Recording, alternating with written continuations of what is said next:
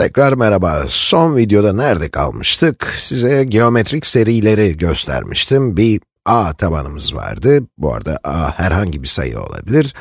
1 bölü 2 olabilir, 10 olabilir, ne isterseniz olabilir. Evet, bu sayının üssünü her defasında arttırıyoruz. Daha sonra da hepsini topluyoruz ve buna geometrik seri deniyor. Peki bir geometrik serinin toplamını nasıl bulurum? Serinin tabanı a olsun ve a'nın üssü de n'ye kadar gitsin. Bir dakika, burada neden a üssü n-2 var? Burası büyük n olmalı. Evet, bir önceki videoda benim durmuş herhalde. Zamanım azalınca hep başıma gelen şey. Neyse, soruya dönelim.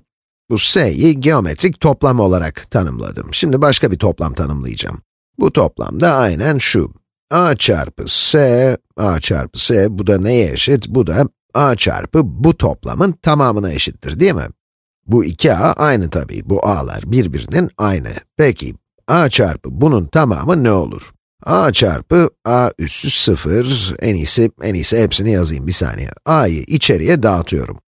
a çarpı a üssü 0 artı a çarpı a üssü 1 artı a çarpı a kare artı nokta nokta nokta a çarpı a üssü n eksi 1 artı a çarpı a üssü n, n.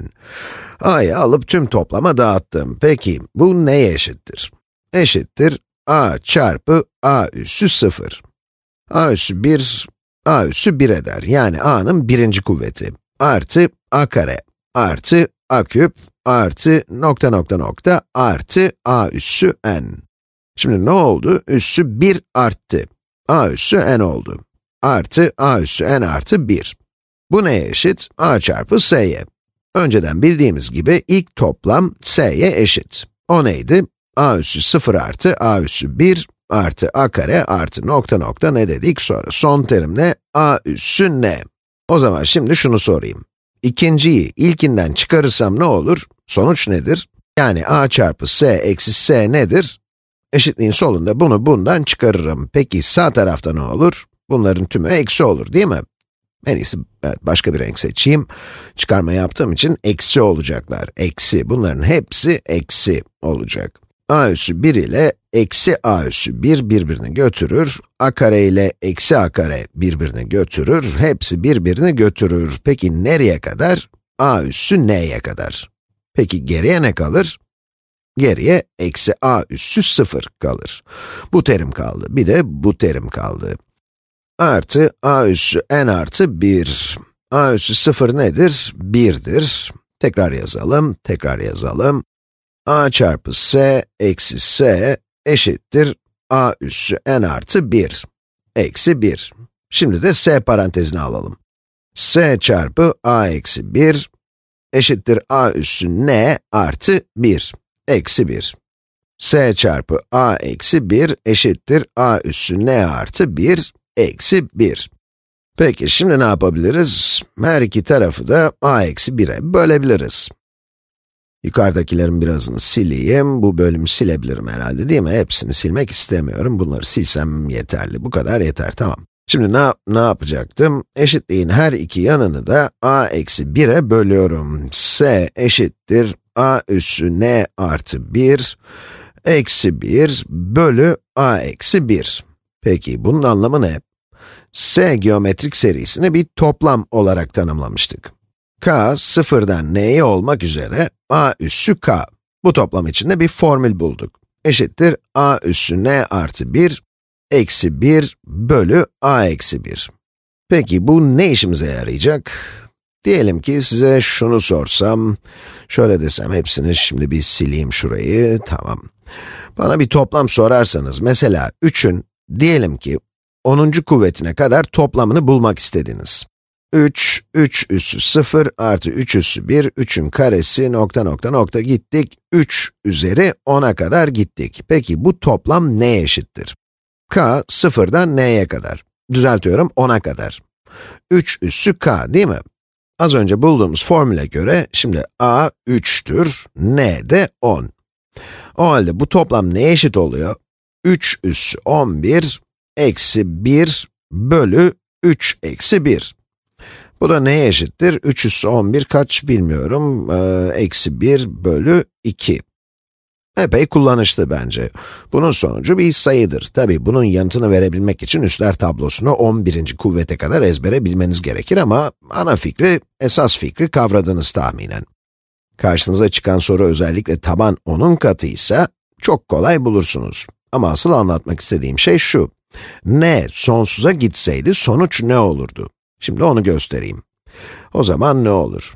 Bu durumda karşımıza çıkacak iki tür, toplamını bulabileceğimiz iki tür seri vardır. Sonlu seriler ve sonsuz seriler. Sonsuz bir serinin sonsuz olmayan bir toplamının olabilmesi için şimdi ne lazım? Yakınsaması lazım. Peki, bu serinin yakınsaması için ne olmalı? Biz sonsuza giderken, serinin her bir teriminin bir önceki terimden küçük olması gerekir. Diyelim ki a kesirli bir sayı olsun. Diyelim ki 1 bölü 2 olsun. Tabanı 1 bölü 2 olan geometrik seri nasıl olurdu? Geometrik serimizi yazalım. Şimdi k sıfırdan sonsuza kadar olmak üzere, sonsuz sayıda terimi toplayıp bir sayıya ulaşabilecek miyiz acaba? Sonsuz sayıda şeyi birbirine ekleyip sonlu bir şeye ulaşacağız. Bu hep beni şaşırtmıştır. Şimdi taban 1 bölü 2. Taban 1 bölü 2. Burada 1 bölü 2 üssü üzeri k olacak. Eşittir ne? 1 bölü 2 üzeri 0 artı 1 bölü 2 artı 1 bölü 2'nin karesi kaç? Artı 1 bölü 4. 1 bölü 8 artı 1 bölü 16. Gördüğünüz gibi terimler gittikçe küçülüyor. Her biri bir önceki terimin yarısı. Peki, burada sonsuz yazmasaydı ne olurdu? Mesela, ne olsaydı ne olurdu? O zaman son terim artı 1 bölü 2 üzeri n olurdu, ne olurdu. Bulduğumuz bu formülden yola çıkarsak şimdi ne yazabiliriz? Eşittir 1 bölü 2 üzeri n artı 1 eksi 1 bölü 1 bölü 2 eksi 1. Sorunun yanıtı da bu olurdu. Tabii n'nin kaç olduğunu bilmeliyiz. Peki, sonsuza gittiğimizde ne olur? Bu aslında bir limit sorusu. n sonsuza giderken 1 bölü 2 üzeri n artı 1 eksi 1 bölü 1 bölü 2 eksi 1'in limiti nedir? Bunların hepsi sabit sayıları olduğu için bir şey olmaz. Peki bu terim sonsuza giderken ne olur? 1 bölü 2'nin sonsuz kuvveti kaçtır? Sıfırdır. İnanılmaz derecede küçük bir sayıdır. 1 bölü 2'nin çok ama çok büyük bir kuvvetini alırsak artık sıfıra yakınsar. Geriye ne kaldı? Geriye kalanlar eşittir eksi 1 bölü 1 bölü 2 eksi 1. Pay ve paydayı eksi 1 ile çarparsak 1 bölü 1 eksi 1 bölü 2 olur. Bu da 1 bölü 1 bölü 2'dir, bu da eşittir 2'dir. Bu beni hep şaşırtmıştır. Şimdi 1 artı 1 bölü 2 artı 1 bölü 4 artı 1 bölü 8 artı 1 bölü 16 şeklinde sonsuza kadar gitsem, aslında sonsuza kadar değil, 1 bölü 2 üssü sonsuza kadar gitsem, toplam olarak sonlu bir sayıya ulaşıyorum, yani 2'ye. Aslında bu konuda küçük bir projede tasarlayabilirsiniz.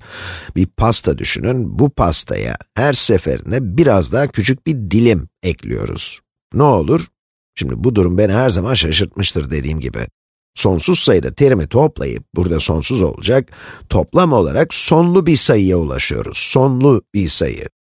Evet, bu arada zamanımız da bitti. Ee, görüşmek üzere.